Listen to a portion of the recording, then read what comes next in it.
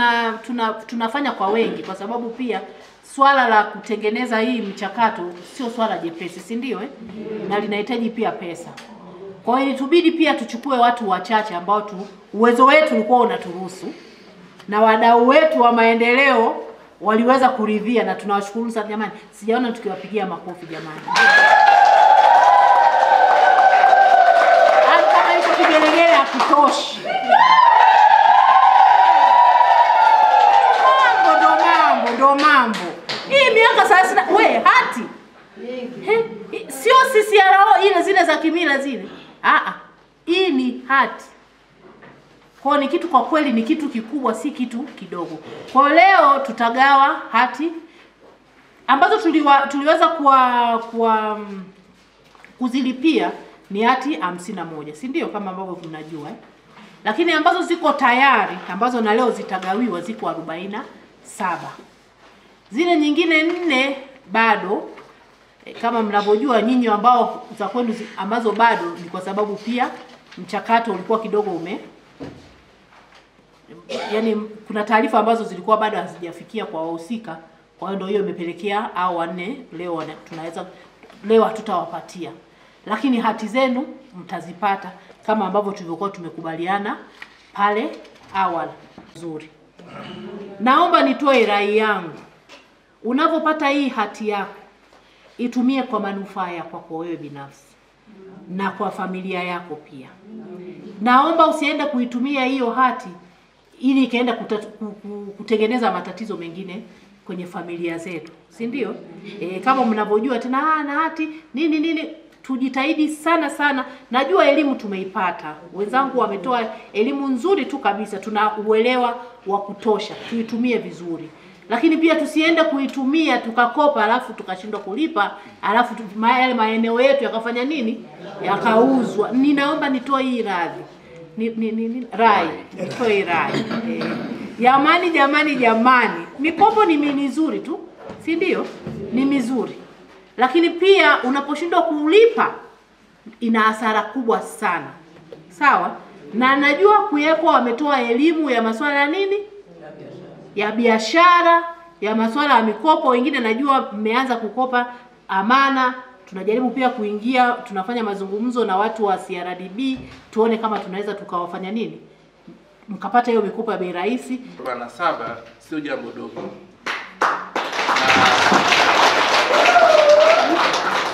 katika kwa mwaka huu katika mkoa wa Njombe tendo hili kufanyika kwa watu kulipiwa hizi gharama za kupata hati ndio la kwanza, au mimi tangia nihamia ile ofisi sijawahi kusikia. Kwa nimesikia kwa mara ya kwanza kutoka shirika la Taula.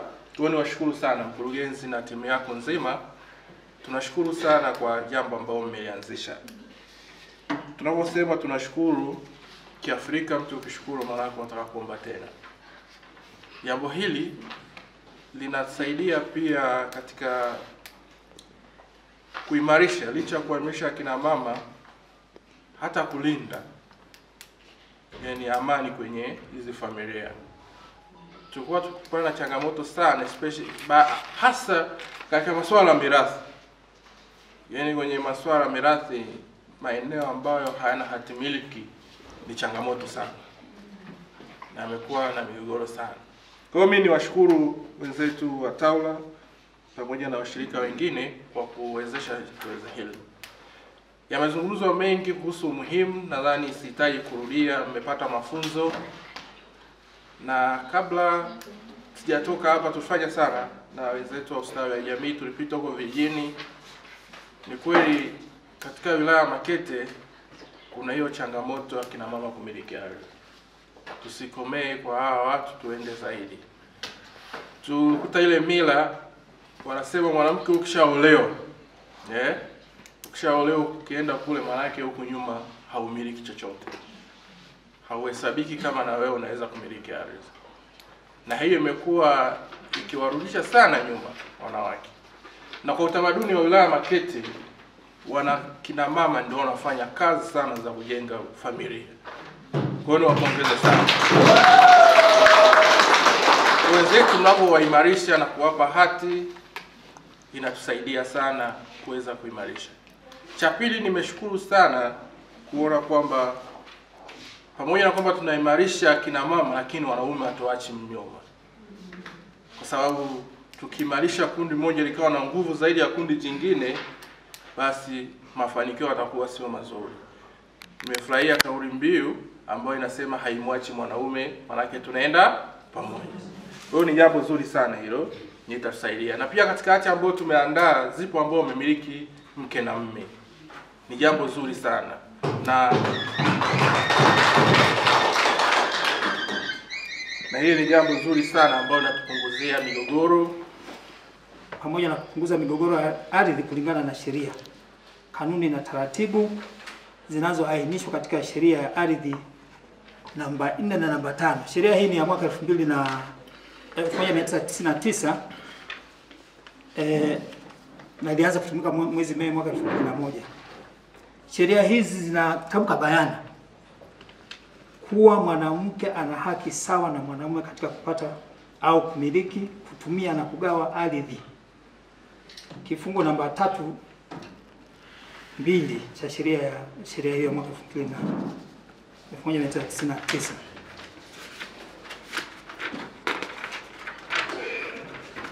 Ardhi jamani, mnajua kwamba ni mtaji na dhamana katika taasisi za kifedha na vyombo vya fedha, vyombo vya sheria.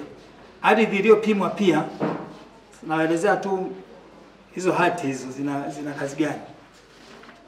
Ardhi iliyopimwa na kumilikiwa ni tiketi ya kupata mikopo benki. Ardhi iliyopimwa na kumilikiwa ni chachu ya maendeleo kiuchumi. Ardhi iliyopimwa na kumilikiwa inaongeza thamani. Sasa hivi hivyo viwanja mlivyopewa sasa hivi, amini hizo hati mlizopewa, takazopewa zitawasaidia kufanya nini? Kukopa mikopo benki, kuwadhamini. Sasa hivi ukienda mahakamani, ukienda mahakamani ukionyesha ile hati kama alitaka kuweka ndani, inakudhamini ile hati. Kwa hiyo ile hati ni kitu ambacho kwa kweli ni muhimu, yaani nyinyi mmebahatika.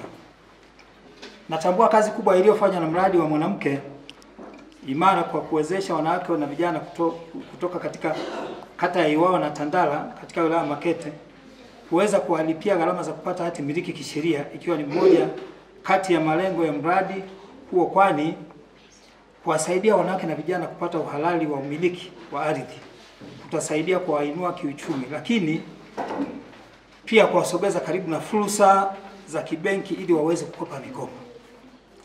Ndugu washiriki, nichukue fursa hii pia kuwakumbusha wanufa- wanufaika wa mradi wa mwanamke imara ambao leo mnaenda kugawiwa hati miliki za ardhi, kutumia hizo hati katika kujiinua kiuchumi na si kuzihifadhi majumbani kwenu wakati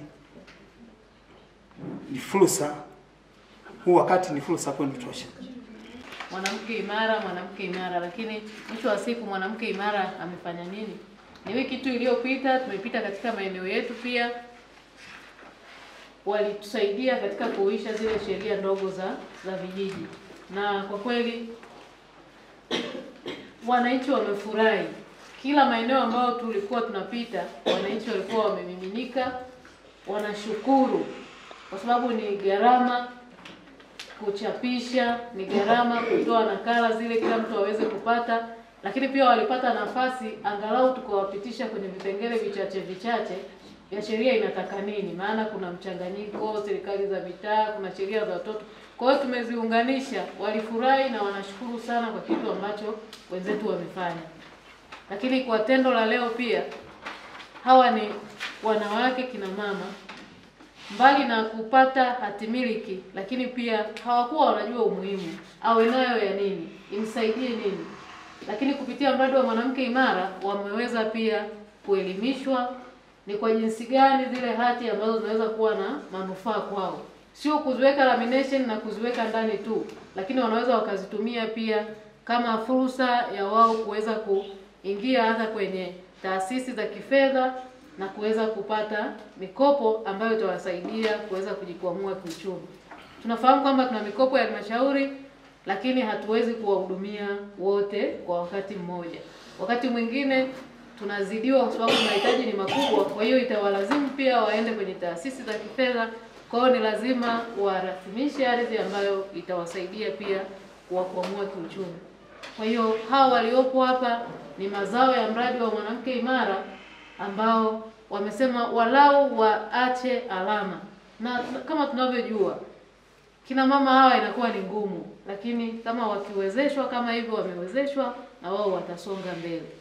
Lakini pia tunao kina mama wengine ambao wamejengewa uwezo kiuchumi, kama tulivyosema ndani ya yale mashirika kuyeko, wametoa elimu, sio fedha tu, elimu ya namna gani ambavyo wanaweza pia kutumia rasilimali fedha kwa ajili ya kujiletea maendeleo endelevu.